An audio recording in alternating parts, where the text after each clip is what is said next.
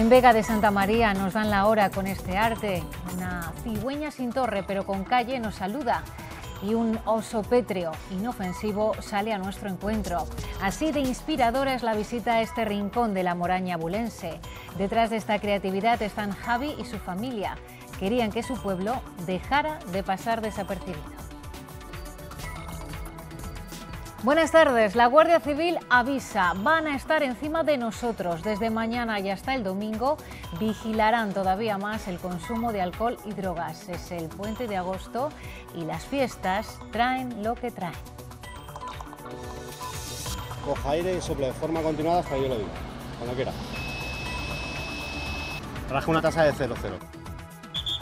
3.000 controles diarios como este en Castilla y León a partir de mañana, tanto en núcleos urbanos como en carreteras. Tenemos encima el fin de semana más movido del verano y el alcohol y las drogas están detrás de un tercio de las muertes al volante. El abandono escolar temprano existe, pero no tiene por qué ser definitivo. Hay segundas oportunidades también para quienes han acabado secundaria y no tienen el título de la ESO. Se trata de evitar lo que puede ser un drama para el menor y su familia. Se ven descolgados un poco de todo y al final acaban siendo eh, pues, eh, la generación que ni estudia, ni trabaja, ni tiene nada que hacer, ni encuentra nada que le atraiga ni que le motive para hacer. De nuevo en stand-by el proceso de negociación y el PSOE que siente todos los ojos encima de su cabeza. PP y Ciudadanos le siguen diciendo lo de de ti depende, hoy con palabras distintas, eso sí. Ferraz les responde lo mismo, que no se va a bajar del no.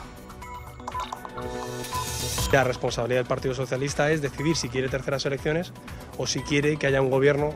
Lo que no vale es decir, cuando yo soy el candidato, pues eh, no, me, no me bloquee y cuando usted es el candidato yo le bloqueo. Oiga, no es por capricho, no es porque sí, no es una revancha a lo que hizo el señor Rajoy, tiene una razón política de fondo. Regresan los valores veraniegos a los termómetros de la comunidad. Mañana tendremos cielos azules y calor. La subida de las máximas la notaremos sobre todo en el nordeste de Castilla y León. El viento soplará flojo y variable. La DGT también tiene planes para este 15 de agosto. Son las fiestas patronales en muchos puntos, es además puente y eso nos asegura que volverá a ser el fin de semana con más tráfico de todo el verano. Así que desde mañana y hasta el domingo los controles de alcohol y de drogas se multiplican. 3.000 cada día en Castilla y León y tanto en carretera como en poblaciones con más de 25.000 habitantes. Si usted es uno de los 6 millones de conductores que este puente saldrá a la carretera, sepa que es fácil que se encuentre con esto. Buenos días, señor. Esto preventivo de alcoholemia. La parte pequeña de la introducción del aparato, coja aire y sople de forma continuada hasta que yo lo diga. Me parecen perfectos, más tenía que haber, por el día, por la noche y por todas las horas. Tráfico realizará 25.000 controles diarios en una fecha especialmente conflictiva por las fiestas patronales. Verano es una fecha en la que se consume más alcohol porque hay más fiestas. Hay más fiestas, eh, tenemos más tiempo de ocio, con lo cual el, el, ocio y el alcohol en España está bastante relacionado. Aunque cada vez más los test de alcoholemia se saldan así, Raja una tasa de 0,0. casi la mitad de los conductores fallecidos en 2015 habían consumido alguna sustancia. El consumo en conductores afortunadamente eh, se ha reducido en los últimos años, pero todavía tenemos un importante problema de consumo de alcohol y drogas al volante.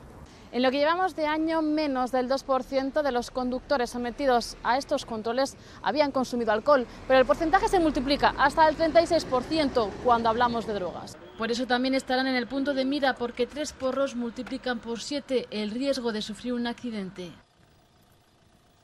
Numerosos medios trabajan desde las 6 de la tarde en la extinción de un incendio en el Bierzo, entre las localidades de Librán y de Toreno. El fuego no reviste peligro para las zonas habitadas, pero ha provocado el corte de la carretera y está afectando a Monte Alto. Nuevo desastre ambiental en la comarca del Bierzo. Desde las 6 de la tarde arde el monte en la pedanía de Librán, en el municipio de Toreno. E incluso durante varios momentos han tenido que cortar la carretera que comunica la cabecera del municipio con la pedanía de Pardamaza. La Junta de Castilla y León ha desplegado un importante operativo que incluye, además de material terrestre y brigadas de tierra, varias aeronaves que se multiplican para intentar sofocar las llamas que en este momento todavía están alejadas del caserío. Esperábamos que no hubiera ninguno, hoy nos ha tocado la mala suerte y esperemos que no, que no haya ningún riesgo para, para los pueblos y que se, que se acabe cuanto antes, pero bueno, que, que no vuelva a ocurrir. Los más de 500 efectivos que integran la Unidad Militar de Emergencias están estos días desplegados en los distintos incendios forestales que están en activo, en especial en Galicia. Es por eso que hoy no han podido participar en este acto en Ferral del Bernesca. El quinto batallón, que tiene aquí su base, ha cambiado de jefe. Álvaro Díez ha tomado esta mañana posesión de su cargo, en ausencia, como decimos, de la tropa, que está de servicio contra el fuego. La complicada situación que han vivido los servicios de extinción de incendios forestales de toda la comunidad los últimos días llevaba al consejero de Medio Ambiente a efectuar un llamamiento a la vigilancia y denuncia, si fuera el caso, de los que quieren terminar con el patrimonio natural de Castilla y León. Eh, no hay que permanecer impasibles ante esto. La ciudadanía no puede dejar que su patrimonio natural y las vidas y la integridad de su familia y de todos nosotros quede en manos de desaprensivos, de delincuentes y, por tanto, de criminales. No se deje eh, a estas personas actuar, eh, se las acorrale, se las delate, se vaya como testigo con toda la claridad. Juan Carlos Suárez Quiñones mostraba su perplejidad por la situación particular que están viviendo los municipios de la comarca del Bierzo, Favero y Vega de Espinareda. No puede ser que Favero haya tenido 13 incendios, eh, en una noche cuatro. Eh, es decir, alguien busca deliberadamente preparar un gran incendio en la zona de Favero. No puede ser que en Vega de Espinareda, en Valle de Finolledo, aparezca un incendio en un lugar donde no existía ninguna causa natural para que aparezca. La Consejería de Medio Ambiente ultima los informes técnicos para la colocación de 10 cámaras de vigilancia en bosques del Bierzo, un proyecto que importará un millón de euros y que cree ayudará a luchar contra el fuego en una de las zonas más castigadas de Castilla y León. En Galicia, 10 incendios siguen fuera de control. La oleada de fuego se ha quemado ya cerca de 4.000 hectáreas en esa comunidad autónoma. Las dos provincias más afectadas ahora mismo son La Coruña y Pontevedra. Las llamas han cercado las viviendas y los equipos de extinción no dan abasto. En Soutomayor, en Pontevedra, las llamas han llegado hasta la misma puerta de las viviendas. Ay, la casa de mi hermano y ya, ya me desplomé, ya me acudieron todos. El fuego voraz ha devorado las vides de Albariño de este vecino, que aún da gracias porque el desastre no haya sido mayor. Pero bueno, lo mejor fue que no llegó a casa ninguna. También en Pontevedra, cerca de Ponte Sampaio, se abren al paso kilómetros de bosque calcinado. Estos vecinos han pasado la noche atrincherados en sus casas sin poder dormir. Empezó a cambiar el viento, hizo remolino y empezó a venir para abajo. Y ya vinimos corriendo a casa y esto, por ejemplo, ya estaba ardiendo. Y ese es el problema. Hay que luchar contra el fuego y contra las variables rachas de viento. Las llamas arden sin control muy cerca de Santiago. Madre mía, chaval. A saber cuántos están. Hay más de una decena de fuegos repartidos por toda la comunidad. No podemos en ningún caso mirar para otro lado ante conductas sospechosas y hay 4.000 hectáreas arrasadas en cuatro días de incendios. Y la que están viendo es la angustiosa carrera de los bomberos que intentan sofocar las llamas en la región de Marsella, en Francia. Cuatro de ellos han tenido que ser hospitalizados. El incendio está controlado, aunque el viento del norte y las altas temperaturas amenazan con reavivar el fuego que ha quemado más de 3.000 hectáreas de bosque. Afortunadamente no ha alcanzado Marsella, la segunda ciudad más importante de Francia. Y aquí en Castilla y León algunos de los fuegos comienzan con una quema de rastrojos que ahora mismo no está permitida. Asaja pide a la Consejería de Agricultura que haga pública cuanto antes la orden que las autoriza. Es el compromiso que adquirió. Previsiblemente esa autorización llegará en octubre, pero quieren que se conozca antes para que los agricultores puedan planificar así la próxima siembra y lo saquen de manera oficial y los agricultores sepan a qué atenerse y sepan que si una parcela eh, la han dejado la paja y no se la van a empacar, la va a poder quemar, si no, la va a tener que picar. Es que eh, ahora mismo los agricultores ya estamos preparando lo que vamos a sembrar el año siguiente o estamos pensando cómo vamos a hacerlo.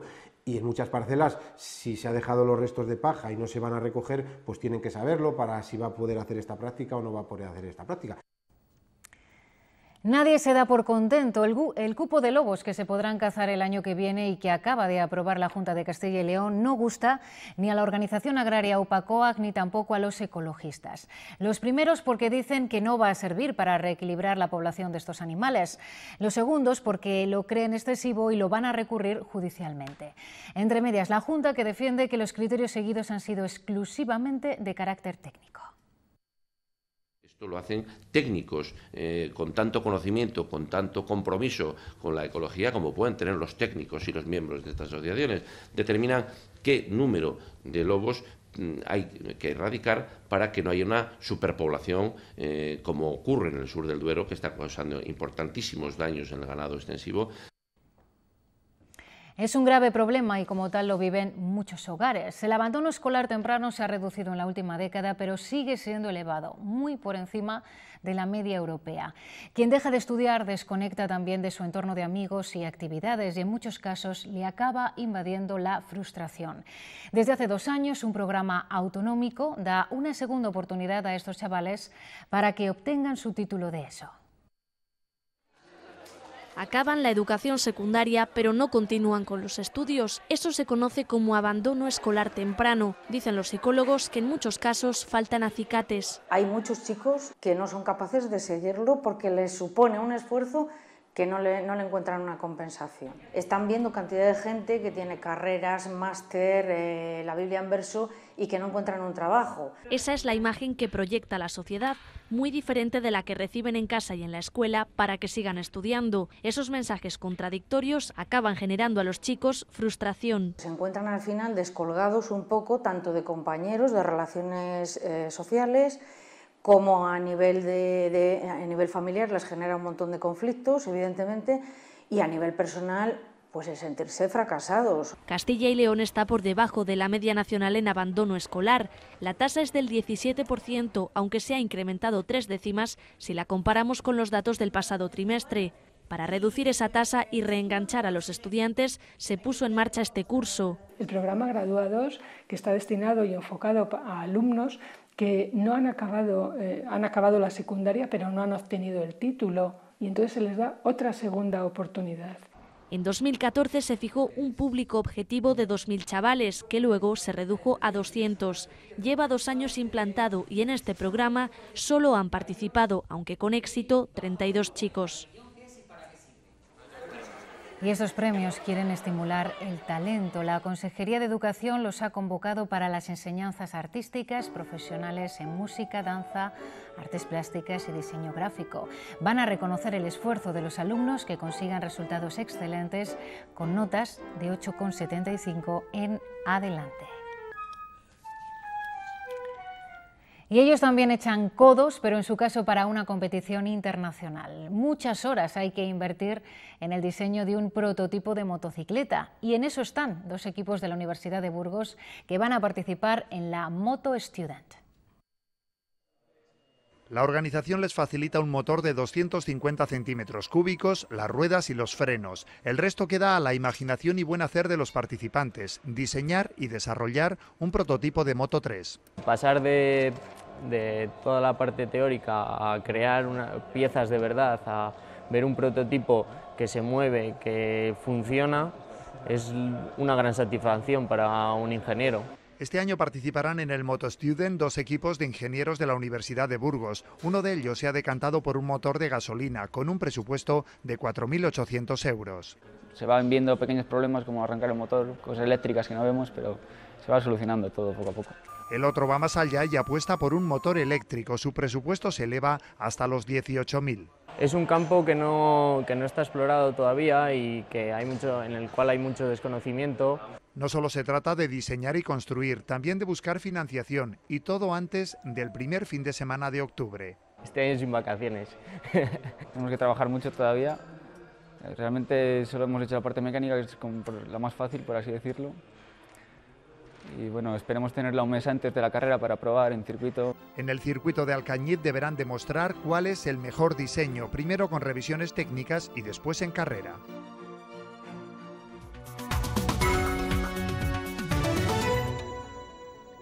Jueves de secano en lo que a política nacional se refiere. La negociación para formar gobierno no se moverá hasta el Comité Nacional del PP previsto para después del puente, el próximo miércoles.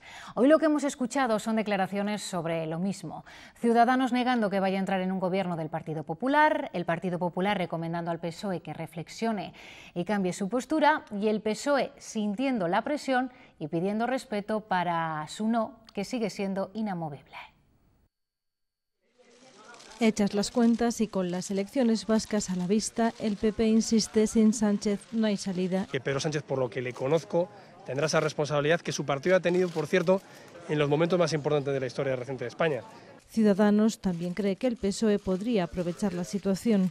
Debería utilizar esa minoría del gobierno también para negociar. Ambos le insisten, la realidad es la que es. Lo que no vale es decir, cuando yo soy el candidato pues eh, no, me, no me bloquee y cuando usted es el candidato yo le bloqueo. ¿Qué dirían los medios de comunicación y los españoles si el Partido Socialista le hubiera sacado al Partido Popular 52 escaños y 2 millones y medio de votos? Y siguiéramos siete meses bloqueando... Pero oiga, no es por capricho, no es porque sí, no es una revancha a lo que hizo el señor Rajoy, tiene una razón política de fondo. Y no cree que tenga que consultar a sus militantes para nada. La posición del PSOE ahora es tan sencilla, tan razonable y, por cierto, tan entendible para los votantes del PSOE como es votar no a la investidura del señor Rajoy. No creo que sea necesario, créame, consultar a los militantes del PSOE para votar no a la investidura del señor Rajoy. Aunque también aseguran los socialistas que no quieren terceras elecciones. El vicesecretario de Comunicación del Partido Popular, al que acabamos de escuchar, ha analizado hoy en Ávila el futuro del ferrocarril en esa provincia. El Partido Popular llevará al Ayuntamiento y a la Diputación una propuesta en la que solicita a Renfe que ponga en marcha una lanzadera a las 6 de la mañana desde Ávila hacia Madrid. El paso posterior será hacerlo en el viaje inverso, es decir, de Madrid a Ávila. Haya un tren en el horario en el que más abulenses lo utilicen para ir a Madrid, que no tenga paradas o que no se vea ralentizado por la velocidad media que imponen las sucesivas paradas de los cercanías a partir del Escorial. Vamos a solicitar es que se invierta en la vía, que se inviertan aquellas cuestiones que hemos determinado que pueden aligerar estos trayectos. Los propietarios del Gorriaga se han reunido hoy con el viceconsejero de Economía para resolver sus problemas de liquidez en el corto plazo y poder pagar las nóminas pendientes. La Junta les ha propuesto encontrar una solución a través de la lanzadera financiera y además una nueva línea de apoyo a la I+D. El lunes se firmó la refinanciación de la deuda de la fábrica abulense por valor de 6 millones de euros y con el aval de la Junta de Castilla y León. Además nos ha expuesto la posibilidad de, que también tienen subvenciones para I+D, para investigación y desarrollo, en lo que estamos eh, muy muy interesados, pues para el lanzamiento de nuevos productos, etcétera, y también vamos a explorar esa vía. Como digo, ha sido muy muy positiva. Otra fábrica, esta, la antigua Peva Fersa en Toro, no ha podido todavía recuperar su actividad. No lo ha podido hacer porque diversos cambios societarios han impedido que la nueva propietaria, IP Photobull, formalizara la compra acordada, acordada en enero. Esto no va a suceder hasta septiembre, con la firma de las escrituras y el abono de los 10 millones de euros fijados en la liquidación concursal. Hasta ese momento, los 20 trabajadores ya contratados estarán de vacaciones. En Salamanca están preocupados por los arcos de su Plaza Mayor. El monumento más transitado a diario por vecinos y turistas sufre en sus carnes, en su propia estructura, las consecuencias del tráfico de furgonetas y camiones de reparto. Es el monumento por excelencia de la ciudad, pero a primera hora invita a cualquier cosa menos al paseo. La Plaza Mayor está tomada por los vehículos de reparto hasta las 11 de la mañana. El problema es que, en ausencia de una normativa clara, se cruzan itinerarios, hay excesos de velocidad y entran vehículos pesados y voluminosos que en ocasiones dañan los arcos monumentales. Eh, el espacio de la plaza es restringido, los arcos tienen sus dimensiones. No puede ponerse un vehículo mayor para rozar y para perjudicar. En 2007 el ayuntamiento trató de impulsar un reglamento para ordenar este asunto, pero Ciudadanos por la Defensa del Patrimonio afirma que es casi papel mojado. Hay que ser valientes, hay que ser valientes, decididos mm, vale, conversar con quien sea, con los eh, actores implicados y establecer unas normas claras y serias y hacerlas cumplir. Tampoco el horario hasta las 11 parece adecuado en los meses de verano, cuando hay más visitas turísticas. El debate está abierto. Y en Burgos se miran y remiran estos toboganes del recién estrenado parque de San Isidro. La policía local los ha clausurado después de que una niña se rompiera un tobillo al salir disparada de la rampa metálica. También ha trascendido que otras dos jóvenes se han fracturado las manos al golpearse con alguno de los remaches que sobresalen bajo la estructura de metal. El Ayuntamiento de Burgos ha ordenado la revisión de toda la estructura. Y la policía investiga un robo en el área de radiología del complejo asistencial de Ávila. Se cree que fue el domingo por la tarde. Lo sustraído, sondas de los ecógrafos, tienen un valor de 25.000 euros. El suceso se produjo en la tarde del pasado domingo en el área de radiología de este hospital Nuestra Señora de Sonsoles y en concreto en las salas donde se encuentran los ecógrafos. Estos suelen funcionar de manera continua entre semana y su actividad desciende los fines de semana, algo que pudo aprovechar el autor o autores de la sustracción para acceder a una zona que, según fuentes sindicales, se encuentra abierta. Los hechos ahora están siendo analizados por la Policía Judicial, mientras desde el complejo hospitalario aseguran que no ha habido incidencias en la actividad asistencial, aunque prefieren no pronunciarse, ya que este hecho está, como decimos, en manos de la investigación.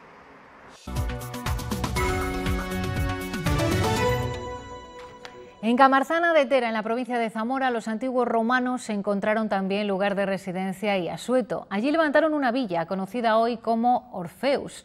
Los primeros restos afloraron en el siglo XIX, cuando se empezaba a construir la carretera entre Madrid y Vigo. Muy pronto esta villa se va a poder visitar, la vamos a poder pisar, en cuanto acaben los trabajos de acondicionamiento y consolidación de los mosaicos que se están realizando. Desde el 2009, cuando se llevó a cabo la primera excavación, la villa romana de Orfeus ha despertado un gran interés histórico y monumental entre los vecinos de la localidad de Camarzana de Tera, en Zamora. La villa romana de Camarzana de Tera abre sus puertas hoy para mostrar los trabajos de conservación que llevan realizándose desde el 2009. El objetivo que tenemos en la jornada de hoy es dar a conocer los proyectos que se han venido desarrollando, sobre todo en los tres últimos años, de cara a mejorar la conservación de los restos arqueológicos que alberga la villa de Camarzana de Tera. Desde que la Consejería cometiera obras de adaptación, reparación y protección de la villa durante el año pasado, los nuevos objetivos para la institución son la restauración y consolidación de los mosaicos, que evidencian una gran cultura arqueológica y que se prevé finalicen el verano del próximo año 2017. Se ha ido poniendo en valor esta villa romana eh, que tiene una siguiente proyección junto a esta investigación, junto a esta conservación. Solo un día para recorrer la villa. Sin embargo, en el Centro Sociocultural de Camarzana está disponible todo el mes de agosto la exposición de la escultura romana de la diosa Fortuna de la colonia Clunia Sulpicia, que habitaba lo que hoy son tierras zamoranas. A este dúo que tenemos detrás casi no hace falta que le presentemos. Ya se les espera en el sonorama. Son el gran concierto de esta noche. Manolo y Ramón, el dúo dinámico que sigue incombustible. Con sus canciones ligó toda una generación y hoy los hijos y hasta los nietos de aquellos fans tararean y conocen de corrido su Lolita, Perdóname y Resistiré, convertido casi en un himno. Pues ellos en unos minutos mandan en el escenario. Sonorama se convierte en un guateque. En su época ya fueron unos independientes. El dúo dinámico se sube a los escenarios para volver a romper todos los esquemas. Fuimos los primeros indies, porque cuando empezamos a, cantar no había nada, no estaban todavía puestas las... Eh, las calles de la música. Esta noche se enfrentarán a más de cuatro generaciones. Lo harán de la mano de los clásicos con los que llevan más de 50 años conquistando al público. Yo conozco gente joven que me dice que oyó nuestras canciones en el coche yendo a, a la playa o cosas así, ¿no? Tenían un cassette o un CD y escuchaban nuestras canciones. En el festival comparten cartel con los principales artistas de indie rock del país y esta noche incluso algunos cantarán a su lado. Vamos a tener cuatro colaboraciones que no podemos decir todavía, pero cuatro colaboraciones de cuatro grupos que han pedido cantar eh, con nosotros. Todo está preparado ya para convertir a Aranda de Duero en un gran guateque. Pues hay más citas musicales esta noche. Carmen París actuará en el municipio segoviano de San Pedro de Gaillos. La cantautora aragonesa ofrecerá un concierto íntimo. Su voz jotera solo estará acompañada por las notas de un piano. Carmen París recorre la geografía española con París al piano, un espectáculo más íntimo en el que ella sola llena todo el escenario. Es una cosita íntima donde desgrano los temas en su esencia, tal como yo los he compuesto tocando el piano o la percusión. Creadora e intérprete, la cantante irrumpió en el panorama musical nacional fusionando el folclore aragonés con un punto de vista universal y contemporáneo sello de su estilo propio. Digamos que a los 30 años, que fue cuando me planteé hacer mis propios temas, darme a conocer como, como creadora, Bueno, pues disculpen porque tenemos un pequeño problema con la emisión de ese vídeo, así que seguimos adelante ya prácticamente en la recta final. En la Moraña Bulense nos hemos topado con un pueblo que rezuma arte. Pequeñas, medianas y hasta grandes esculturas salpican fachadas, plazas y calles. La idea ha sido de un vecino que quería llamar la atención de los visitantes y lo ha conseguido. El paseo por Vega de Santa María está lleno de plasticidad, de color y de sorpresa. Con uno de estos paseos nos vamos. Hasta mañana y feliz noche. Adiós. ¿Cómo aprovechar al máximo el tiempo en Vega de Santa María cuando uno se aloja en una casa rural? En este pueblo no tenemos eh, grandes monumentos, no hay castillos, no hay lagunas naturales. Pero sí aves como esta. Esta cigüeña ha dado nombre a una de las plazas del pueblo. Esa es la idea que empezó a labrar Javi con su padre Marciano y bajo la atenta mirada de su madre Lucy. Quería realizar un museo al aire libre en su pueblo y lo ha conseguido. Darle ese acervo cultural que debe tener y que nos pueda significar y determinar dentro de la multitud de pueblos que constituyen esta comarca de la Moraña. Desea que el visitante se lleve una buena lección de un lugar. Ese humanoide que está con una especie de libro delante enseñando a los alumnos alguna lección. Podemos encontrar incluso osos o, por qué no, esbozar una sonrisa. Destapa una sonrisa en la gente porque es una figura graciosa que lo que hace es eh, transmitirnos esa felicidad y ese sentido de bienestar. Descansemos, aquí se sientan los mejores, para ver de cerca la tierra de Castilla, tierra de toros. Esa fue una de las esculturas, símbolo de unión de un pueblo. Bajo él se hicieron una fotografía para el recuerdo como quieren que quede su homenaje a Cervantes. La cultura tiene que estar con la gente, con el paso de la, de la sociedad y con los eventos históricos que nos, que nos tocan y nos acompañan. En un lugar de Castilla cuyo nombre deberían recordar, Arte al aire libre en Vega de Santa María.